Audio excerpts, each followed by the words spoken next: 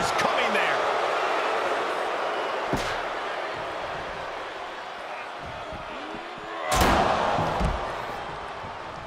Fishing for something beneath the ring.